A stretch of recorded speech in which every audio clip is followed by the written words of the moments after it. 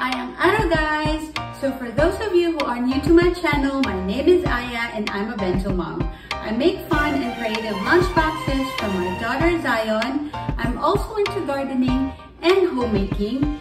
So if these are the things that interest you, please keep on watching. Happy Friday guys! so sa mga hindi pa nakakapanood ng previous vlogs ko, we're already on our second week of our cartoon character series.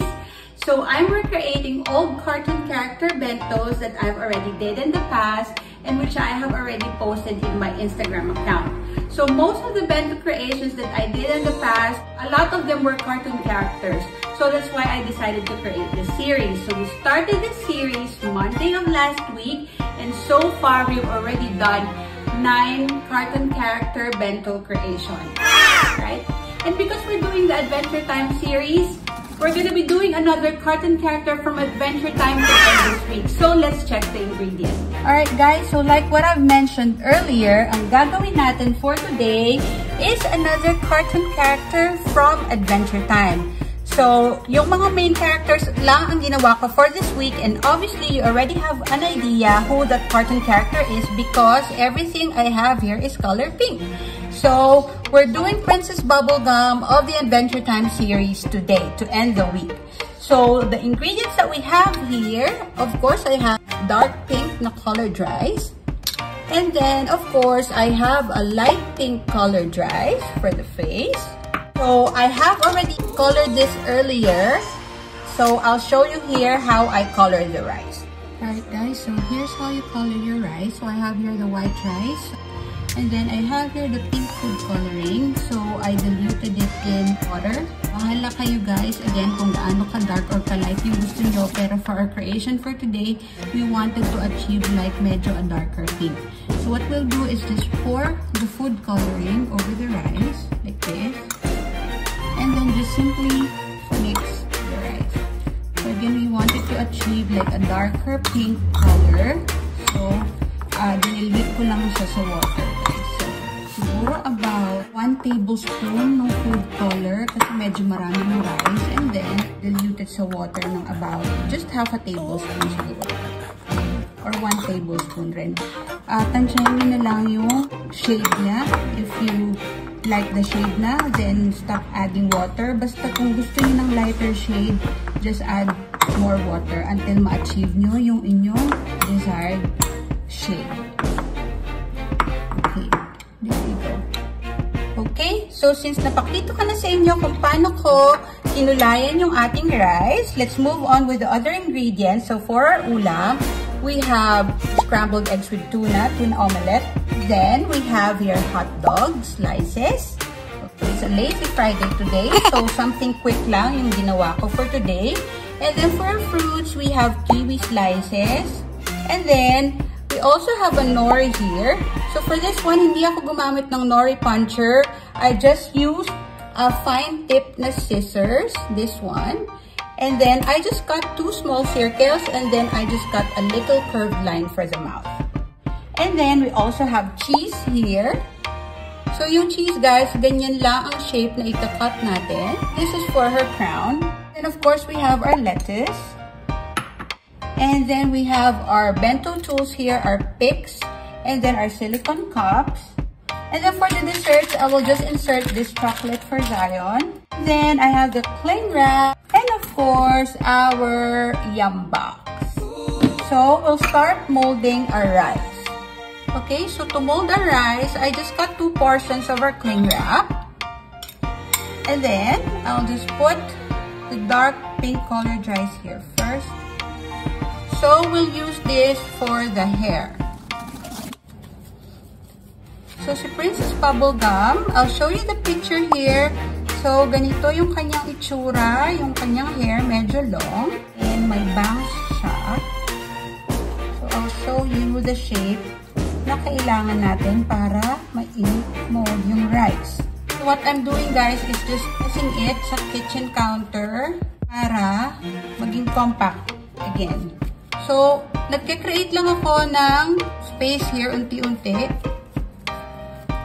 Parang gumagawa lang muna ako ng letter C. And then, what we want to do is basically just to shape it kung paano yung itsura ng kanyang hair.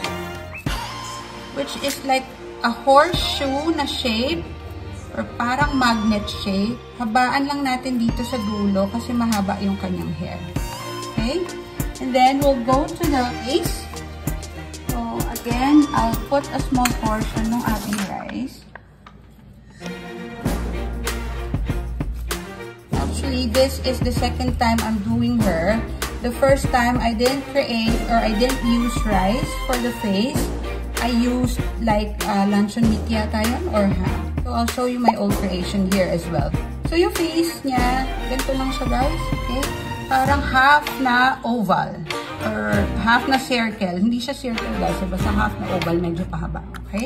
Okay guys, so what I did was unwrap the cling wrap at ang ginawa ko is yung minold natin na hair kanina is I inserted lang yung face, yung light pink na face na parang half circle, half oval na shape. Ganyan lang siya guys, maliit lang siya. And then I inserted it here sa hair so I know how it will look like exactly at saka paano yung kanyang magiging fit sa yam box. So the first thing that we'll do of course is just to put our peaches here. Half of color sa ating bento creation. And then I'll just put it here. Okay, so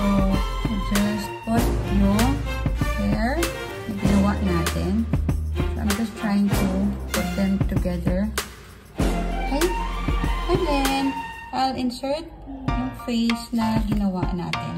So I'll just insert here para mag-fit yung kanyang face.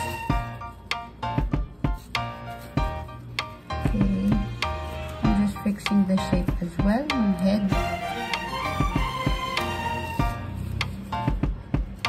Okay. And then what we want to put is the cheese. Ito yung kanyang crown, guys. Just putting it here. So, careful lang tayo sa cheese slices kasi medyo mabilis silang maputol the excess sa dulo.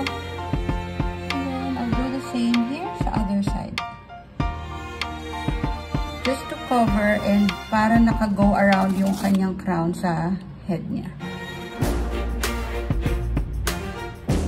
And then, I will put, because she has like a gem on top, cut a little bit no, sa ibabaw para the gem will fit.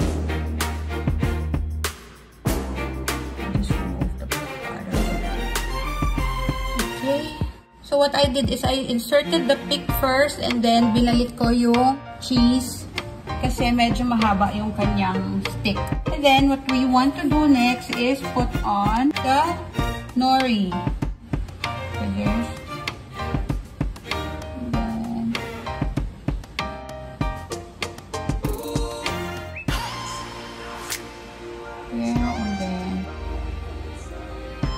And then, we'll fill up the rest of the compartments ng ating yam box. Of course, we'll use our silicone cups.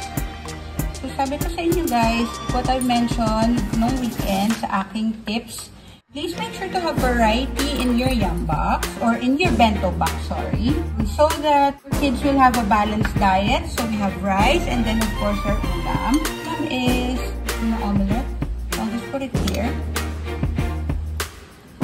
And then also a variety of color. So for this one, that's why I'm putting lettuce here just to make sure na meron siyang pop ng color kasi halos pink lahat yung kulay ng ating creation for today. So I'm just wanting to make sure na i-put ibang kulay naman para hindi masyadong patay yung ating creation. And here's the other silicone cup. I'm putting the dito sa ating smallest compartment, we'll put yung ating kiwi slices. Okay, there you go. And then, the last thing that we'll need to do, so I have here my Sakura Picks. Last na video natin, nagbento haul tayo. I'm just putting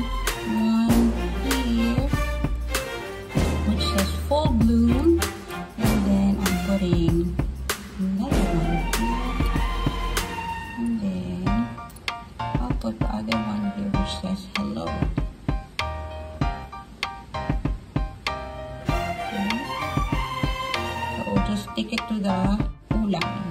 There. There you go. So here's our finished product.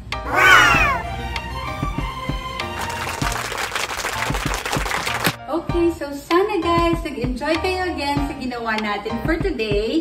Don't forget to like and share this video para mas maraming mag-try mag-bent wing. And also, don't forget to subscribe to my channel and hit the notification bell para palagi kayong updated if I have a new video upload.